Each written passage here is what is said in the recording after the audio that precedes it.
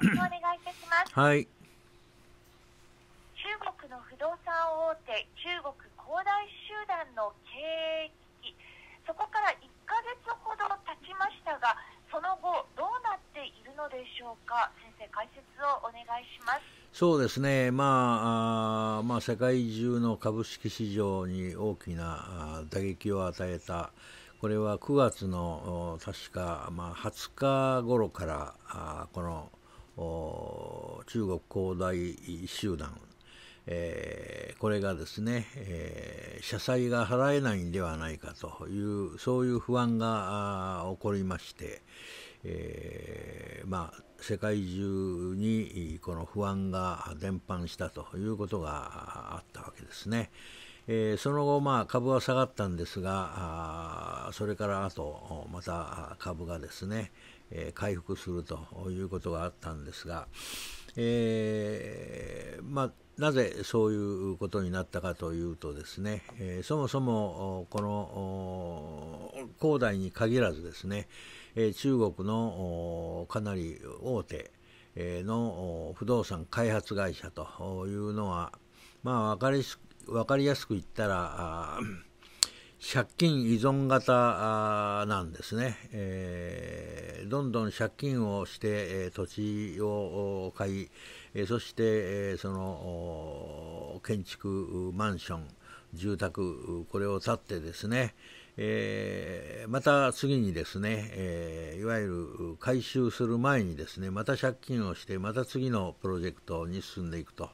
いうことを繰り返してですね、えー、来たわけですね。まあ、そのためにどういうことになったかというと、この恒大の場合はですね、日本円にしまして、えー、約30兆円のですね、えー、負債がこの溜まったということで、えー、しかしながらあこの毎月のようにやってく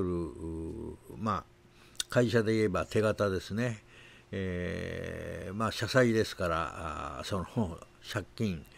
えー、の少々なんですがその社債の期日が来るとこれ払っていかないといけないわけですね。でこの恒大の場合は社債の元利合計が払えなくて、えー、もうずっとですね金利だけを払ってなんとかあ、まあ、つなげてきたという事情があるわけですね。えー、ちょうど最初9月に入ってですね23日があ23日と29日がこの支払い日、まあ、大きな社債の返済日だったわけですね。えー、ですからあその23日の前に、えー、不安が広がりまして、えー、まあ、日本でもアメリカでもどこでも株価が暴落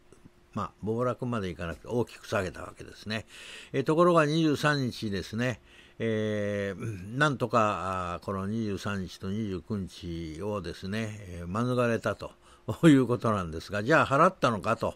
いうと、払ってないわけなんですね。えー、この中国の法律によって、えー、まあ、社債返済期日が来てもですね、払えなかったら30日以内に払えばいいということで、まあ、言うなれば事実上ジャンプしたと。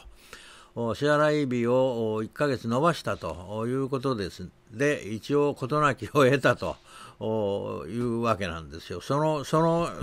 日は事なきを得たわけで、えー、次にですね、えー、期日が回ってくる。これがですね、今週の23日なんですよ。で、これまた、その、払えるか払えないか、もしこれ払えなかったらですね、えー、市場が心配している通り、間違いなく このデフォルトという形になるわけですね。23日に、えー、元本ではなくて金利ですからね、金利も払えないと。いうことになるとですね、これデフォルトになる。23日がダメなら29日も当然、えー、ダメになる、デフォルトになるということで、まあ、今週末にですね、えー、まあ、今23日というと日本時間土曜日ですから、えー、まあ、23日、22日ぐらいには払えるか払えないかはっきりしてくると思うわけですね。えー、ただ、中国政府はですね、えー、7月の確かいつでしたかね、あ7月だったかな、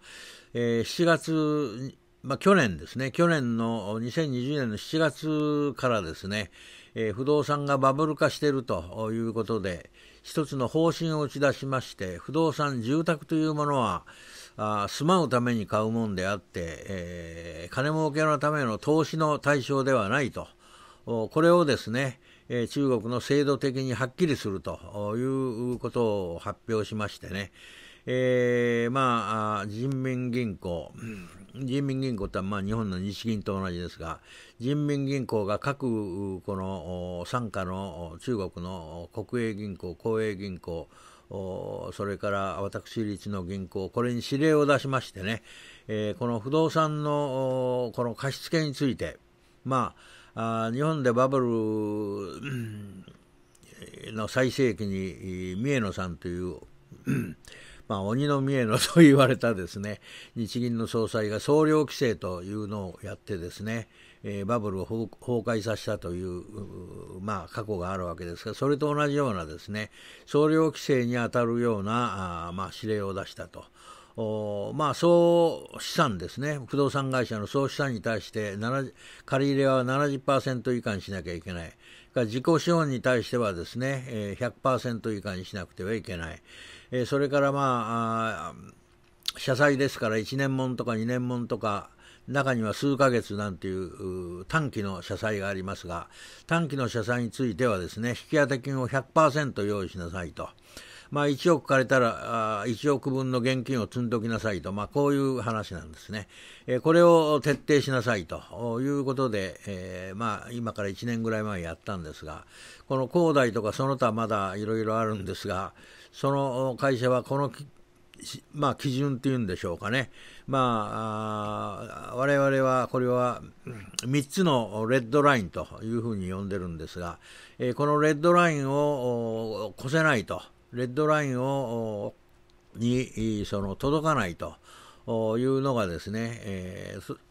この恒大だったわけですよ。ですから期日が来ても払えないということになったんですね。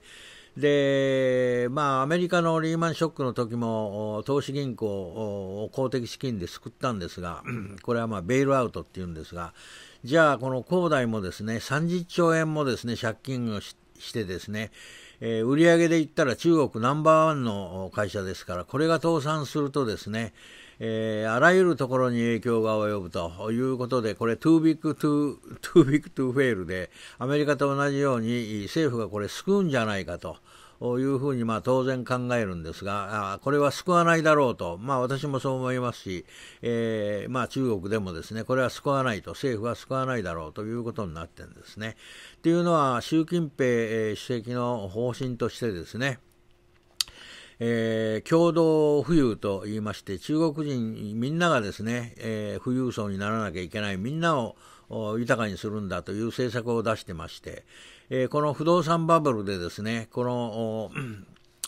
富裕層とそれから貧困層の差が大きく広がりまして、このまま放置しておくとですね、えー、ますますこれがひどくなるっていうんで、見せしめにですね、やはりこういうそのバブルの象徴のような会社は、やはり潰すんではないかと。で、潰したらですね、お金払って住宅、まあ、全額払って、えー、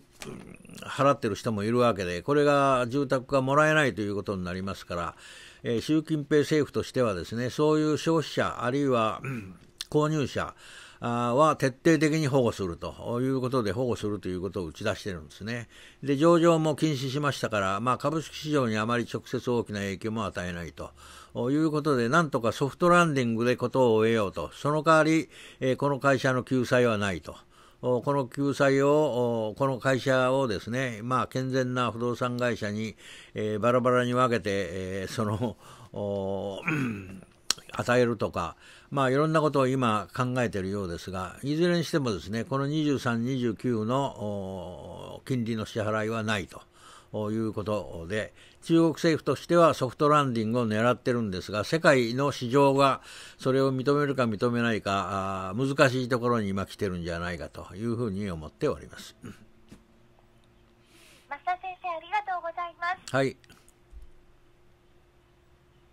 この番組では、増田敏夫先生への質問を募集しています。ラジオ盛岡の送信フォームよりお送りください。マ田タスの逆手で勝つ日本復興のためにでした。